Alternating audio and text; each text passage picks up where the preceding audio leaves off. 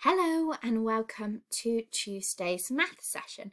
So today we are going to be carrying on with how to find fractions of amounts. It's going to get a little bit harder. We're going to do some um, worded problems. We might have to think about it a little bit differently than what we did yesterday.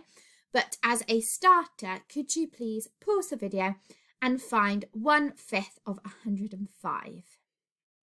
Okay, so how at, what we looked at yesterday was that to find a fraction of amount, we divide the whole number by the denominator and then times that answer by the numerator. So we would do how many fives ooh, go into 105 first of all, because we're dividing the whole number by the denom denominator. So we'd go, how many fives go into 1? None. So then I'm carrying my 1 over. How many fives go into 10? 2. How many 5s go into 5? 1. And then, so that would be our first step, so 105 divided by 5, and then we would times it by the numerator, but the numerator is only 1. So that is our final answer. So our final answer is one fifth of 105 is 21. So give yourself a tick if you got that one right. Okay, we're going to look at it a little bit differently today. So what we're going to look at first of all is what if we know the fraction but not the whole? So we know that one quarter of something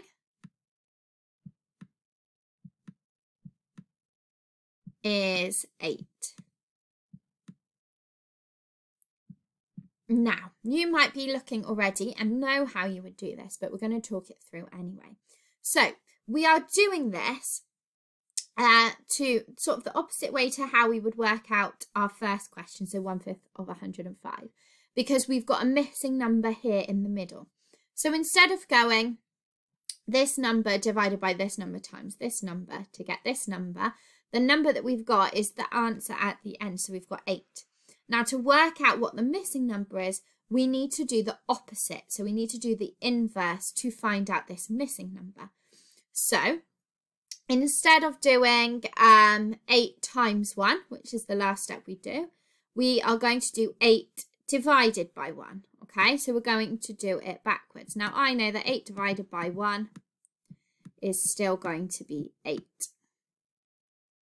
Okay, now usually uh, we are dividing um, this by this number by the bottom. Um, so we're going to do the opposite of that. So instead of timesing this number by the top, we divided it. So instead of um, dividing this number by the bottom, we are going to times this number by the bottom. So we've got our 8 divided by 1, which is 8. So we've done, the inverse. So we haven't done um, timesing by the top, we've done dividing by the top. And we would usually divide by the bottom, but we're doing the inverse, so we're going to times by the bottom. So we take our 8 and we would times it by the bottom. So we do 8 times 4, which is going to give us ooh, 32. And that is our final answer because we've worked backwards. Now, if I put my 32 in here, there's one way that I can check. So I can then do it the right way round. So I do 32 divided by 4 and then I would times that number by 1 and if you've got the right number here you should get 8 as your answer. So you do everything backwards from the answer at the back, okay? So we're going to have a go at this. So one third of 18. I want you to pause the video and have a go at that. So that's straightforward how you would usually um, work that out. So one third of 18. Okay, so we know from yesterday, we divide the whole number by the denominator. So we do 18 divided by 3, which will give us 6. And then we've got 6. So that answer times the numerator. So 6 times 1 is 6. So this number should have been, so one third of 18 is 6. Now, to work out one third of something equals 18, we do what we just did a second ago and we're going to work backwards. So we're going to take 18 and we are going to, instead of timesing it by the numerator, we're going to divide it by the numerator. So 18 divided by 1, which is 18 anyway. And then we take our answer like we would for this one. So we take whatever answer we've got here. And instead of dividing it by the numerator, we are going to times it by the numerator. So we've got 18 times 3, and that is going to give us 54. Okay, and again, to check that you're right, you can take it the right way round. So you can do 54 divided by 3 times 1 should give you 18. So hopefully that's a little bit clearer on how you'd go backwards to work it out, um, seeing them side by side. So you do the opposite so you work backwards from the thing that you would do last um, if you were doing it the normal way through and you invert it. So if you're dividing, you times. If you times, you divide. Okay, so what I want you to do is have a go. So pause the video and have a go at doing these questions and then we're going to go through them together, but really give it a good go um, think about how we've just done it. Um, have a look at this one because it's just worded differently round the other way. It's the same sort of idea. So pause the video and have a go. Okay, so for the first question, hopefully you've got 30 as an answer. So we're working backwards.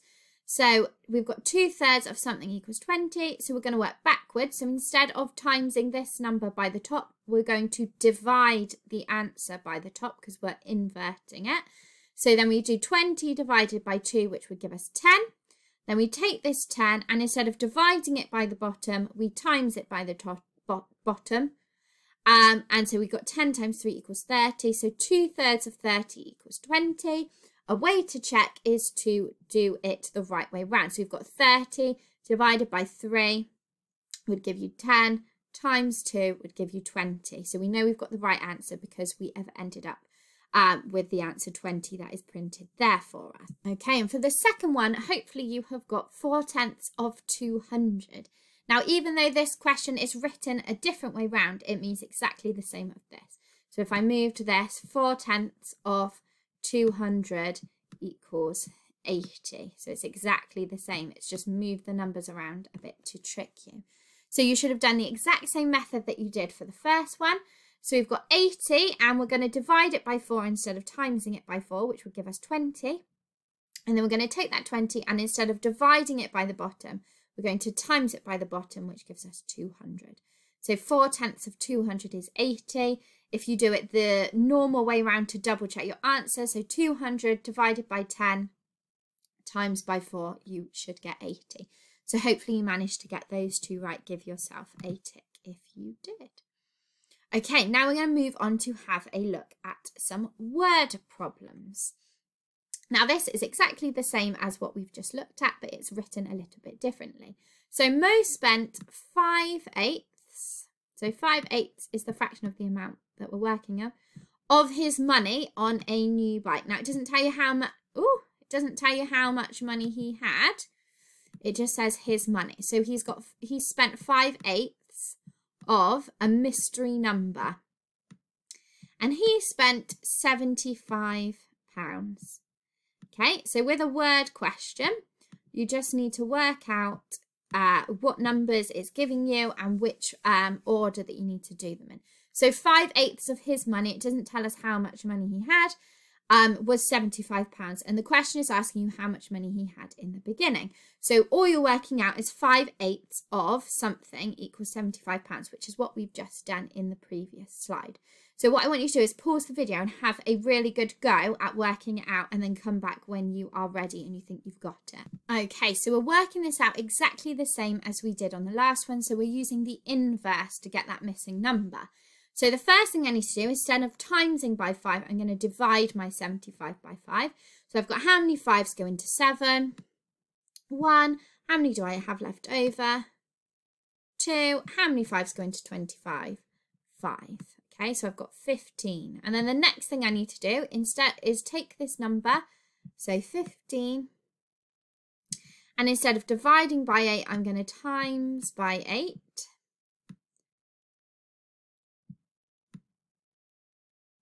So we've got how many fives go into 8? 40. How many? 8, 8 times 1, so we've got 8. Add our 4. Ooh. Is 120. So I know that he had 120 pounds to begin with. So if I do 5 eighths of 120 pounds and I do 120 divided by 8 times by 5, it should get me 75 and I know that I am right. Okay, final question then. So in a flower shop, 7 twelfths of the tulips are red. So we've got 7 twelfths of, it doesn't tell us how many tulips we've had, we've got, so we've got the exact same problem. So 7 twelfths of something um, are is 56. So 7 twelfths of the total amount of tulips are red and there are 56 red tulips. Then it asks you how many tulips are there in total. So 56 are red and 56 is 7 twelfths. How many tulips do they actually have? So again, you do exactly the same thing that we just did on the bike question, on the money question. So you're going to work backwards. So pause the video and have a go at doing this question backwards. Okay, so hopefully you have got the answer 96. So here's how we should have done it. So 56, and instead of timesing by 7, we've divided by 7, which would give us 8. And we've taken our 8 and we've, instead of dividing that by 12, we've times it by 12 to get us 96. And again, to double check that your answer is right, you do 96 divided by 12, times it by 7, and if you get 56, you are definitely on the right track. Okay, that's all from me today. So now is your time to go onto the worksheets on the website and have a go at applying this new skill. If this is really, really tripping you up, then I would suggest you go for the easier sheet on the website. Start with that. If you find it too easy, you can move up. But um, if you're thinking it's going to trip you up, then start there.